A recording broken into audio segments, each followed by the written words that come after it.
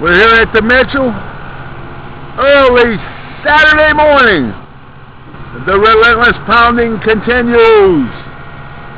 We're going to go hit the tanks now and see what she's got in her.